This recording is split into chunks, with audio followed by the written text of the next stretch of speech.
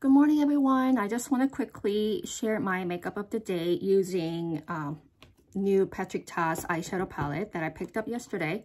And clearly you can see two different eye looks. On this side, I'm going to tell you which shade I use. But for first impression, after two looks, I really love it. I love it um, after I swatched all the shades yesterday, but still, like I was kind of like, eh, I don't know about the topper shades, but I put it on this morning. Both of my eyes, just for the reference, my eyes are super sensitive. So I am very careful with the glittery like topper shades.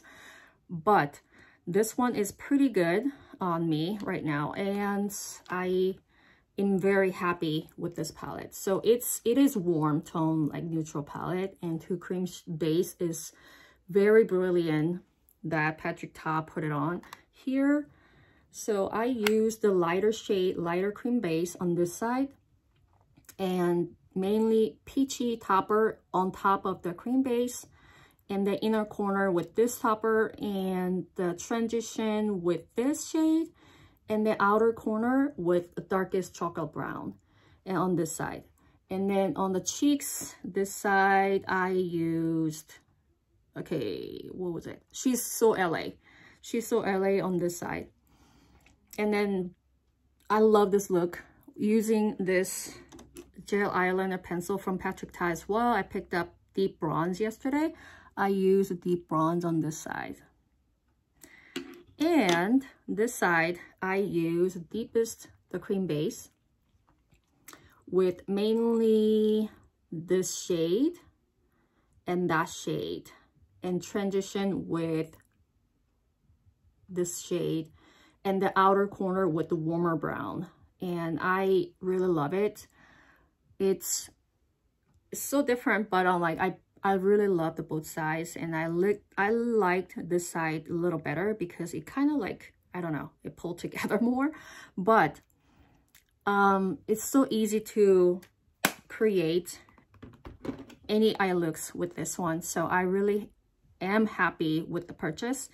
And this side cheeks, I think I use, okay, do we know her?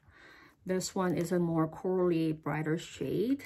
I wanted to, I only have two blush duo from him, so I wanted to use this side and this side, and both of the sh this shade. So I really love it how it turned out. And for the lips, I use my new Sisley lipstick number 33. I smudged a little bit in the middle. Um, on the edges, I just added a little more, uh, one more layer of it. So that is, there's it. So I really love how it turned out. And I, I don't know. I don't, I don't think anything really bad about this palette. So far, so good.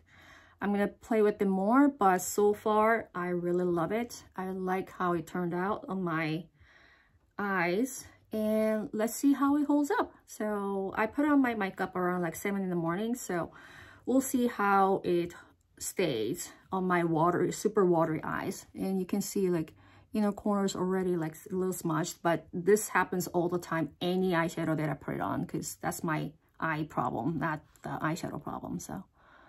So, so far, so good. Thank you so much for watching, and have a good weekend. Uh, Today's Friday, so I'll talk to you guys later. Bye.